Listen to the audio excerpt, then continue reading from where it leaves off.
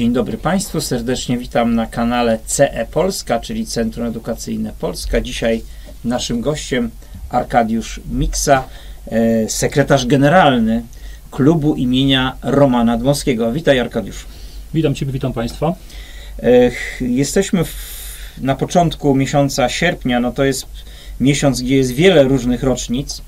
E, będziemy jeszcze się zajmować rocznicą stulecia Bitwy Warszawskiej, czyli Cudu nad Wisłą.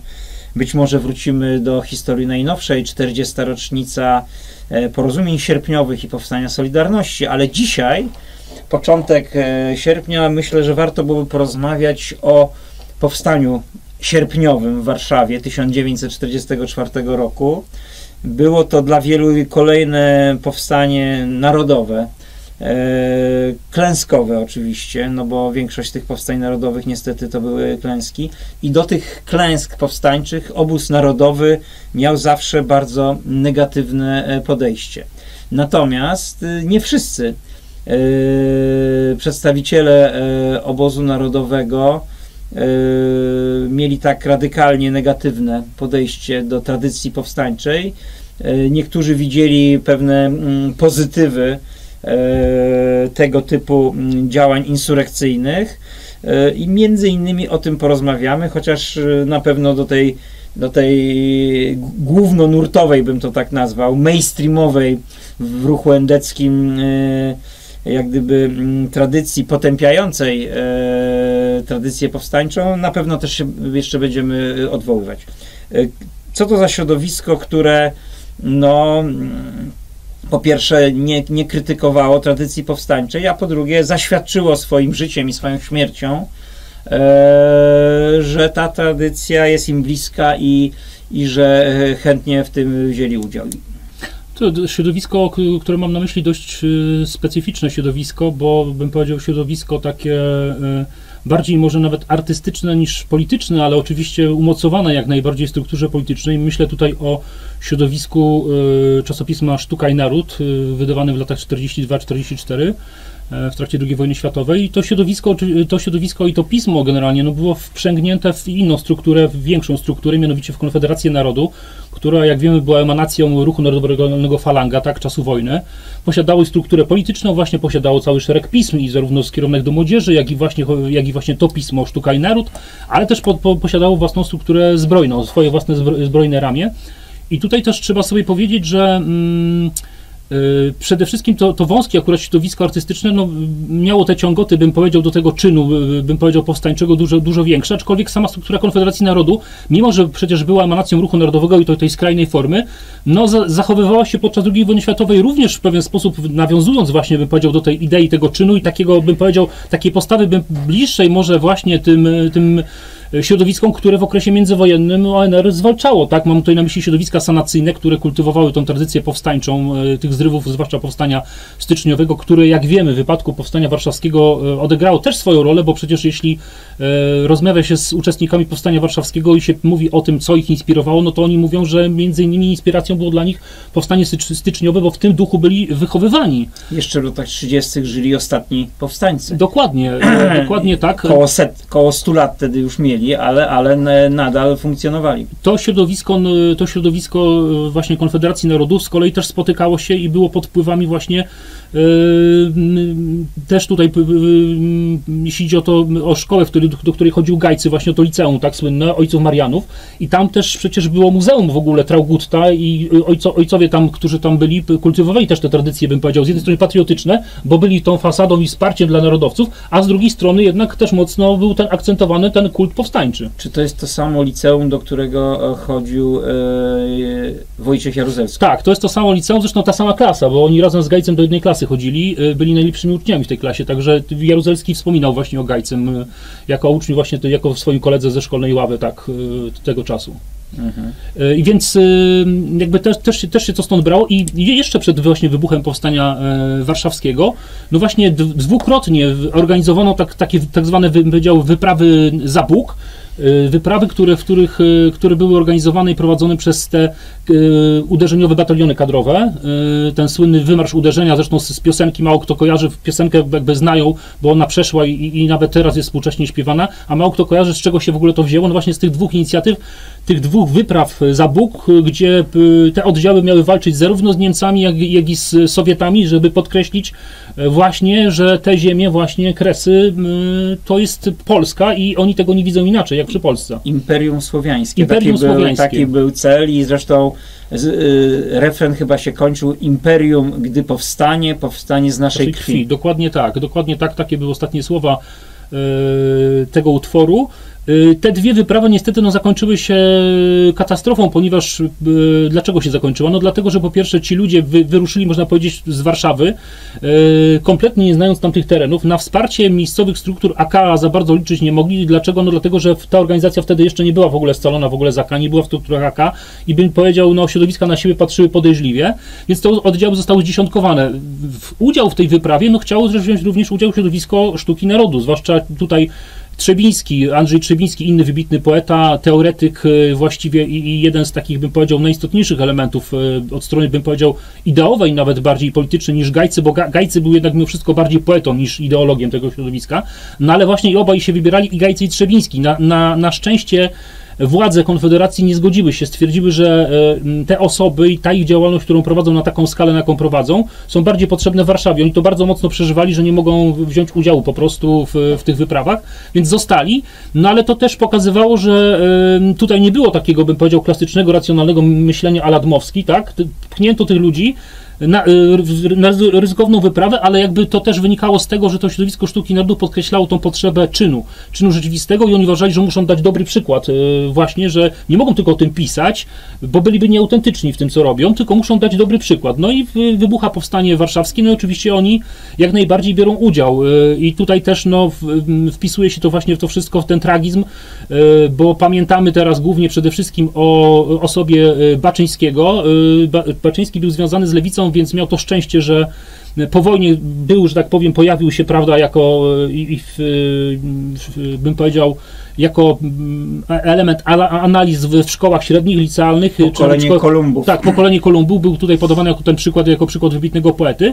Natomiast, chociaż też co ciekawe, taką ciekawostkę znalazłem, że przecież mimo, że był socjalistą, to do jego matki jeszcze przez trzy lata po wojnie, choć było powszechnie wiadomo, że zginął, tak, aparat komunistyczny jeszcze przychodził z wizytami sprawdzić, czy czasem się Baczyński jednak nie pojawił w domu, bo przecież wiadomo, chcieli go po prostu aresztować.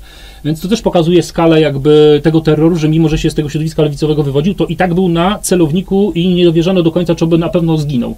Był poszukiwany jeszcze przez trzy lata, ale właśnie, wracając do Gajcego. No więc Gajcy był narodowcem, więc no nie było dla niego miejsca, natomiast w wydanej kilka temu biografii poświęconej e, Gajcemu przez e, Stanisława Beresia. Tutaj trzeba powiedzieć, że to jest obiektywny krytyk, bo on nie jest w żaden sposób związany ze środowiskiem narodowym. I Bereś pisze tam wprost, że według niego osobiście, a jest znawcą tematu, no Gajcy był poetą większego formatu niż Baczyński, no ale ponieważ na, na jego nieszczęście związał się z narodowcami, tak, no to ślad musiał po nim wszelki zaginąć. No, dlatego cieszę trochę, że pojawia się ostatnio gdzieś tam ta jego twórczość, nawet przez jakichś, bym powiedział, czołowych polskich artystów są jego utwory wykonywane przy okazji rocznicy powstania, ale i nie tylko, więc, więc to, to, to gdzieś jakiś dobry zwiastun, gdzieś to światełko w tunelu, więc że to środowisko zostało przypomniane. No i cóż, y, Gajcy, Gajcy ginie w, w 18 sierpnia w, w, trakcie tego powstania, ginie ze swoim kolegą Zdzisławem Stroińskim, który paradoksalnie y, był dłużej stażem i takim bym powiedział narodowcem głębszym niż Gajcy, bo Gajcy dołączył do tego środowiska w trakcie II wojny światowej, a Stroiński był jeszcze narodowcem, bym powiedział, w strukturach sprzed jeszcze sprzed wojna byli bardzo się, jak się tylko poznali, a co ciekawe, zapoznał ich ze sobą e, bodajże Władysław Bartoszewski, który też się wtedy tam kręcił wokół tych środowisk narodowych. No więc się zaprzyjaźnili i y, razem też mieli być w, w, tym dywizjonie motorowym, najpierw w dywizjonie motorowym, ale zostali później pchnięci na odcinek, którym dowodził porucznik Nałęcz. Y, bardzo trudny i ciężki odcinek, który jakby blokował przebicie się oddziałów tych pancernych y, z woli, które potem jak dokonały rzezi woli, po prostu tutaj szły w kierunku centrum i oni byli właściwie na takiej wysuniętej placówce, gdzie przez 12 15 dni się bronili, w takim, bym powiedział, w takiej reducie, można powiedzieć, w, w cudzysłowie, bo, bo to była po prostu kamienica, jedna odseparowana właściwie od całej reszty i odpierali kolejne ataki elitarnych oddziałów SS, a no, tutaj też pokazuje to ten ich, bym powiedział, nonszalancję i romantyzm obu działaczy z sztuki narodu. Jeden miał z nich po prostu butelkę, znaczy, przepraszam, jeden miał pistolet, a drugi miał granat, tak? Byli wyposażeni i w ten sposób odpierali ataki oddziałów SS.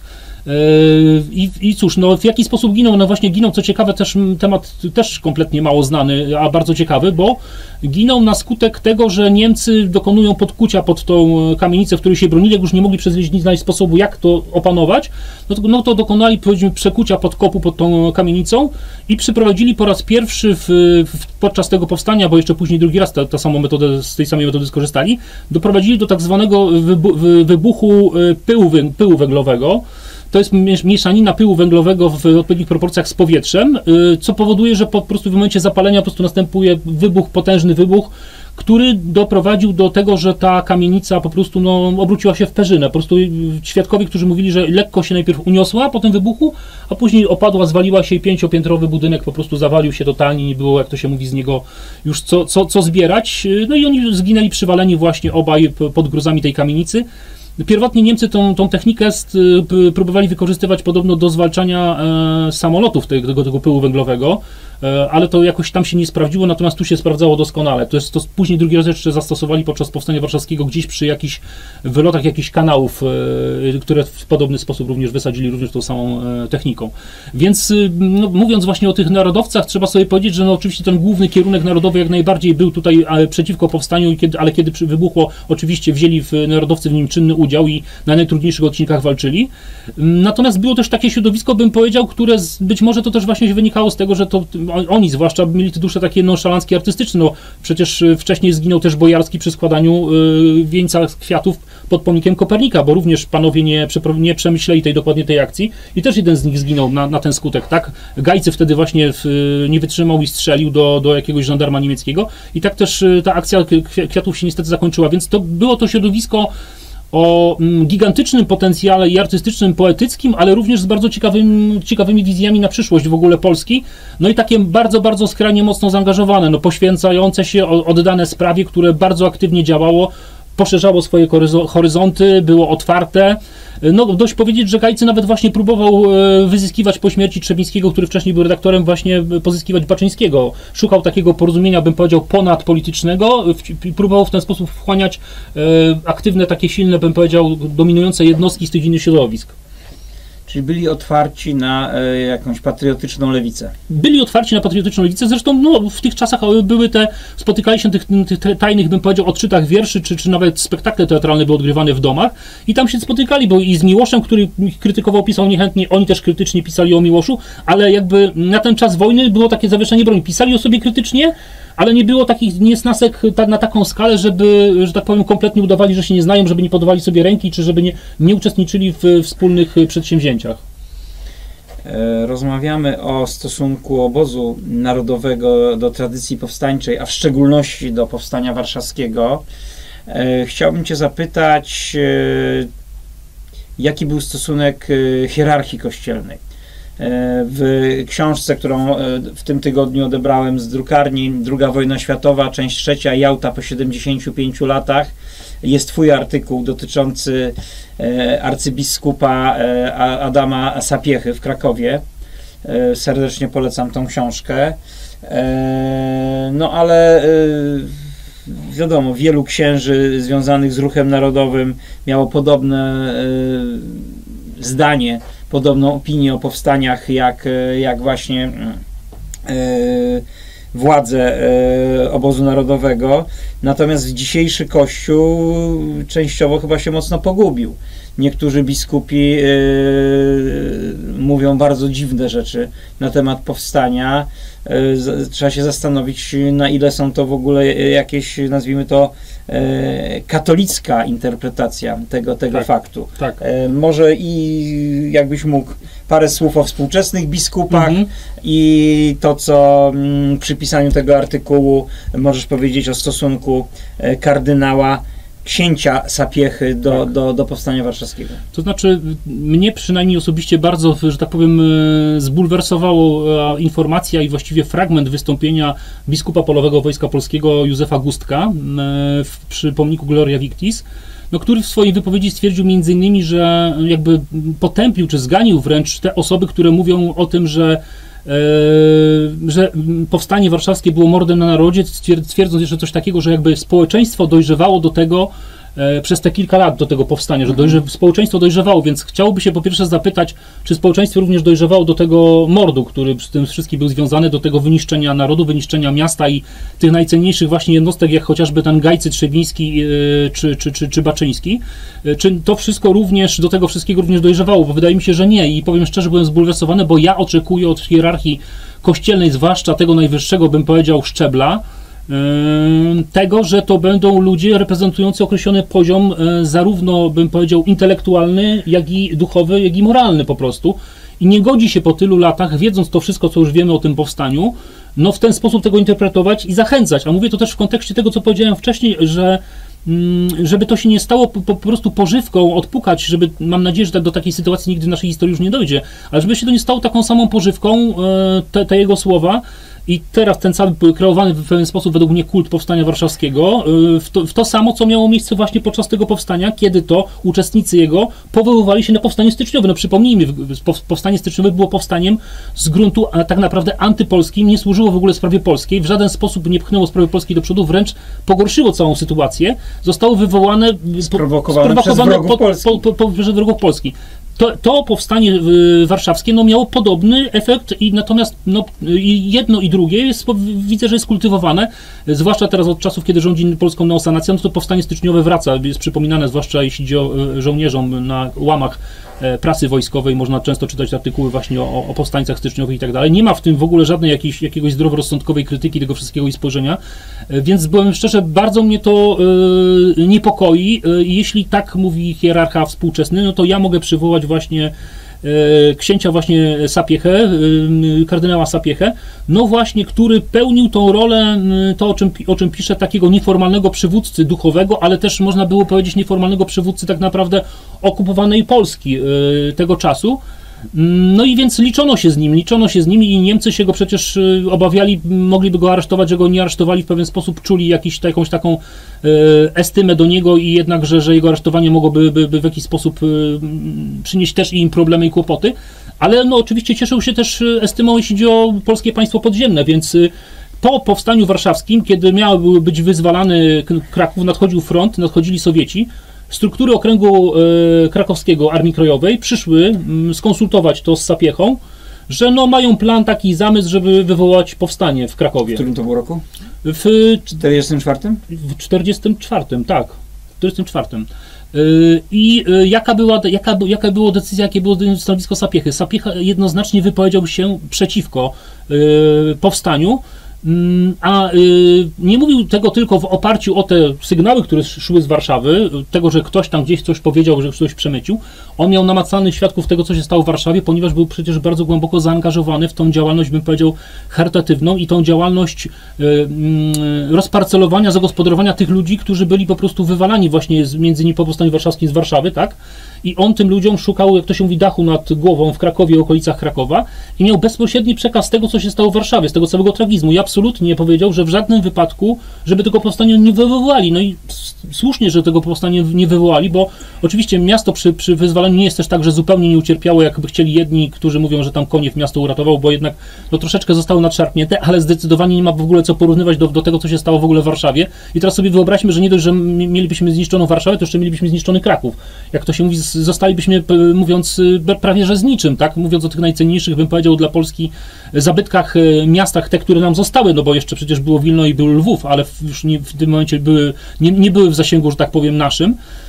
Y, więc zostalibyśmy tak naprawdę z niczym. Y, I, i dlatego też po, chciałbym podać to właśnie biskupowi Polowemu Gustkowi jako przykład, że no byli w, wcześniej inni przed nim duchowni, którzy odgrywali istotną rolę w życiu polskiego narodu i państwa, którzy no, potrafili zachować zdrowy rozsądek i właściwie ocenić sytuację. Szkoda, że po tylu latach, po tym wszystkim, co już wiemy, nie wiem, być może. Yy, ksiądz biskup nie czytał na ten temat, może za mało czytał, nie wiem, czy, czy, czy, czy być może, nie wiem, tak mu to zlec, zleciły władze państwowe z taką sugestię, żeby taki przekaz poszedł, że to się mówi podprogowy w, w tym kierunku. No ja się po, po, mówię, poczułem głęboko zniesmaczony mm, i też to mówię w tym, w, w tym kontekście tego, że patrzę i każdy z nas, kto, kto, nie wiem, spaceruje po Warszawie, zwiedza Warszawę, przyjedzie, no to co jakiś czas natyka się na te informacje. Tu Niemcy podczas powstania rozstrzelali 40 osób, tu 60, tu 100, tu 200, tak? Mamy tam y, rzeź, y, y, mamy rzeź Woli, mamy rzeź na Ochocie, również 10 tysięcy ludzi i ja to na to wszystko patrzę przez pryzmat zdrowego rozsądku pod tym kątem, że polecam, jak ktoś z Państwa był, będzie, czy może zwrócił na to uwagę, tak jak ja zwróciłem, w Pradze, czeskiej Pradze, tam też są tablice, bo tam też było wybuchło powstanie praskie przecież. Yy, yy, tylko, że u nas, jak gdzie u nas jest na tablicy 40, 60, 100 czy 200 osób, no to w Czechach jest napisane, że tutaj podczas powstania zginęła jedna osoba, zginęły dwie osoby. Tak wyglądało powstanie w Czechach, ale ono efekt swój osiągnęło. A dlaczego? No dlatego, że wybuchło we właściwym momencie. Wybuchło we właściwym momencie. W Polsce tego, tego myślenia zdroworozsądkowego nie było.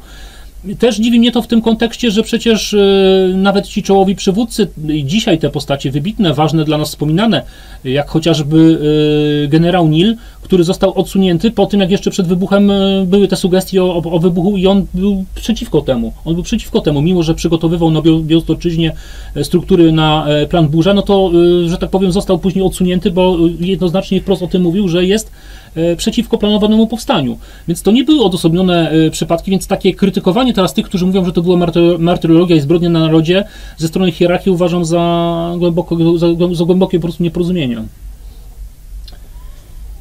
Czyli omówiliśmy mniej więcej stosunek, e, który się zmieniał i był różny w ramach środowisk narodowych, a także w Natomiast ramach hierarchii. Do, może jeszcze dodam, że co do samych księży, że warto też o tym powiedzieć, że wy, wy, ponieśli ogromną daninę krwi, bo, bo y, oczywiście w, wspierali zarówno ludność cywilną, ale również wspierali żołnierzy jak, jako, i szli na pierwszą linię jako, jako, te, jako wsparcie. A co ciekawe, o ile Niemcy często wcześniej, powiedzmy, e, no tak jak kardynałowi Sapiesze czy, czy innym hierarchom po, pozwalali działać i funkcjonować, jakoś powiedzmy patrząc, porównując to do, do, do, do Sowietów, no to ten stosunek ich jednak mimo wszystko, trudno mówić, że był, że był dobry, ale powiedzmy no ciut lepszy niż, niż Sowietów no to w trakcie powstania y, można zwrócić uwagę na pewną prawidłowość. Tu nagle role się odmieniły. Często było tak, że ci, jak już powstanie kapitulowało i gdzieś albo gdzieś wcześniej jeszcze e, Niemcy gdzieś otaczali i Polacy się poddawali, no to na przykład jeśli szedł cały oddział, no to oddział szedł na przykład do niewoli, a jak znaleźli księdza w tym oddziale, to od razu był rozstrzeliwany, więc y, księża byli wyjątkowo podczas powstania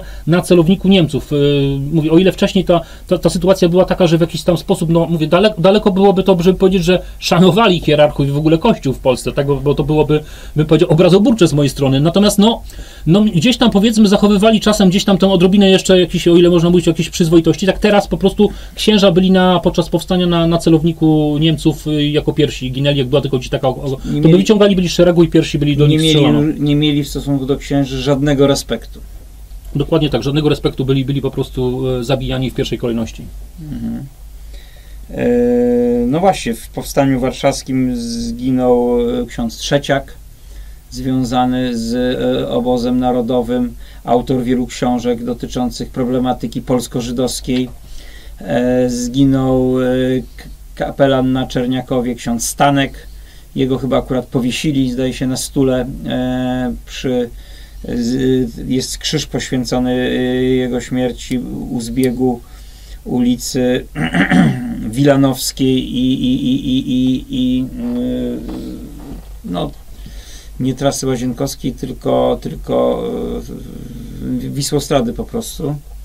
E, no, słynnym kapelanem, y, ojcem Pawłem, pseudonim Paweł, tak. był ojciec Józef Warszawski. No to też właśnie warto powiedzieć a propos tego, co mówiłem wcześniej, tego, tej Konfederacji Narodu, że on był kapelanem właśnie Konfederacji Narodu. Napisał książkę jak gdyby taką programową. Tak, i te idee uniwersalizmu, które głosił, stały się w ogóle, bym powiedział, taką też wyznacznikiem też tego całego środowiska sztuki narodu i więc ta jego wykładnia i ta jego myśl dotycząca uniwersalizmu, czyli obrania po, po, po wojnie w ogóle pójścia w kierunku trzeciej drogi, czyli ani faszyzm, ani liberalizm, tylko trzecia droga, tak? Miała być to trzecia droga właściwie w, zarówno w wymiarze, bym powiedział, takim ustrojowym, ale też w wymiarze gospodarczym, tak? Tak naprawdę obranie nowego w ogóle kierunku, czyli ani dzisiaj byśmy powiedzieli, ani kapitalizm, ani socjalizm też, ani faszyzm, ani liberalizm. Zupełnie trzecia, nowy, odrębny kierunek i to właśnie on wszystko w ramach w ramach tutaj swojej pracy jako kapelan właśnie Konfederacji Narodów wdrażał, promował, a później właśnie no zresztą, zresztą dostał przecież krzyż Virtuti Militari za, za te swoje zasługi, zresztą jak wielu innych księży w, w trakcie powstania warszawskiego, więc y, tak, był, był na pierwszej linii. Co ciekawe, nawet w innych opracowaniach tego nie, nie, nie widziałem, a ostatnio znalazłem informację, że był, był przypisany przy nim, że w stopniu majora w trakcie powstania. Mhm. No właśnie, czyli różne były podejścia, chociaż jedno dominujące do, do tradycji powstańczej w e, obozie narodowym.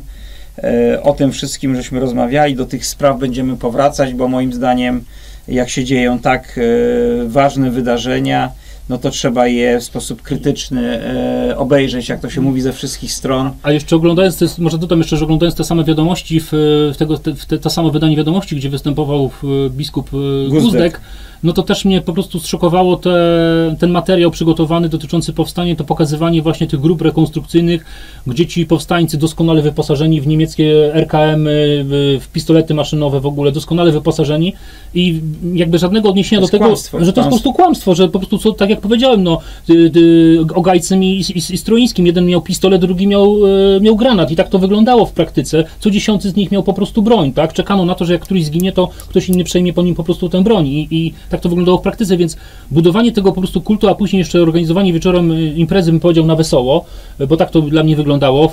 Co prawda później poszedł już jakiś dokument, który już był mniej zabawny i trochę pokazujący rzeczywistość, ale tej, no, świętowanie na wesoło naprawdę powstania warszawskiego uważam, że to jest po prostu, no, no budzi to po prostu mi niesmak, no, no, bo to jest to po prostu nie na miejscu. Uważam, że oczywiście pamięć y, się należy, docenienie i podkreślanie, właśnie pokazywanie młodemu pokoleniu tego bohaterstwa i poświęcenia tych ludzi, ale też zdroworozsądkowe, e, zdroworozsądkowe podejście do tego, bo ten optymizm i ta, ta rzekoma radość, która była, że wybuchło powstanie, bardzo szybko, jeśli ludność cywilną, e, się zmieniło i ci ludzie, których tam, e, że tak powiem, witano kwiatami i, i, całowano, kilka dni później już byli po prostu wyklinani przez ludność cywilną, bo ludności cywilnej nikt nie pytał o zgodę, czy wyraża zgodę na powstanie. Nikt nie zadbał o to, żeby ewakuować najpierw ludność i dopiero sobie później zrobić powstanie.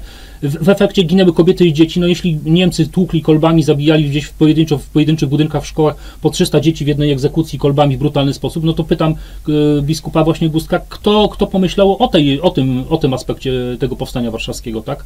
No dlatego mówię, no jest to dla mnie niepojęte i patrzę na to po prostu ze smutkiem, e, w którą stronę to zmierza, bo, bo od, oddzielić należy po prostu oddawanie czci i szacunku tym, którzy, którzy mówię, poświęcili swoje życie i, i mieli tą odwagę, żeby, w, bo nie wszyscy przecież też ją mieli, e, żeby, żeby, natomiast ja bym patrzył na to, nawet to, co się działo w okolicy, bardziej w Warszawie, mianowicie o Campinosie. Tam się toczyły dużo większe walki, bym powiedział, które przynosiły dużo więcej ofiar, dużo, dużo więcej Niemców zginęło najprawdopodobniej w Campinosie, walcząc z, z tamtymi oddziałami AK, które tam się zgrupowały, niż y, w samej Warszawie.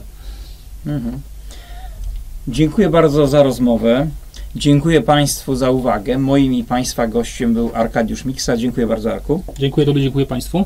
E, zachęcam do oglądania naszych filmów na kanale CE E, Polska, czyli Centrum Edukacyjne Polska. Zapraszam na naszą stronę internetową oraz do naszej księgarni internetowej pod nazwą cep-sklep.pl cep, czyli tak jak skrót od Centrum Edukacyjne Polska myślniksklep.pl a w nim e, w tym sklepie, w tej naszej księgarni między innymi książki wydawane przez nas, już pokazywana przed chwilą książka tom trzeci o II wojnie światowej, także wcześniejsze dwa tomy. E, dwa tomy dotyczące Piłsudskiego i sanacji. E, myślę, że również bardzo wartościowe i na czasie. Jeden tom dotyczący e, Kresów Wschodnich Rzeczpospolitej. To też z moim artykułem również... o, innym, o innym wybitnym duchownym, tak, o, o arcybiskupie Todorowiczu, także Dwóch, ar, dwóch arcybiskupów. Dwóch arcybiskupów, dwóch arcybiskupów, kardynał i arcybiskup, tak? Na, na mhm. tych dwóch książkach, że tak powiem, prze, przeanalizowałem ich dorobek i, i zasługi dla Polski. Mhm. E, zachęcam również do e, zainteresowania się książkami e, bardziej aktualnymi. Na przykład e, książka e, Grzegorz Braun Nowa Normalność. E, to jest wywiad Tomasza Zomera z Grzegorzem Braunem. Również książka Fałszywa Pandemia krytyka tego fałszerstwa przez naukowców i lekarzy dokonana. Także książki Michała Krajskiego, dr Michał Krajski, Okultystyczne korzenie światowej rewolucji, czyli ezoteryka w służbie postępu. Myślę, że bardzo ważna pozycja. No i tradycyjnie propagujemy książki pana Henryka Pająka, Państwo Polin w państwie polskim. Między innymi w tej książce jest słynny e, referat Jakuba Bermana z Wałbrzycha z 1945 roku, mówiący o tym, jak e, no, ma być rozwiązana sprawa e, żydowska w, w, w e, Polsce. E, z innych książek to jeszcze może dwie polecę. Ariowie, Słowianie, Polacy, książka profesora Mariusza Kowalskiego z Uniwersytetu Warszawskiego pod tytuł Pradawne dziedzictwo Międzymorza o wędrówkach ludów, narodów, o haplogrupach, o charakterze narodowym Polaków i innych E, że tak powiem, naszych tutaj sąsiadów. Oraz książka, w tej chwili mamy rocznicę e, operacji polskiej NKWD. E, kolejna książka przygotowana przez Tomasza Zomera. Dzieci operacji polskiej mówią. Jest to 45 świadectw dzieci, które przetrwały tą operację, często tracąc swoich rodziców, dziadków E, i, i, i dają świadectwo tej tragicznej historii. Proszę Państwa również o wpłaty na nasze konto. Konto widać na pasku na dole ekranu. E, są one potrzebne na rozwój naszej działalności statutowej, czyli działalności edukacyjnej, wydawniczej i medialnej. Dziękuję bardzo. Do widzenia.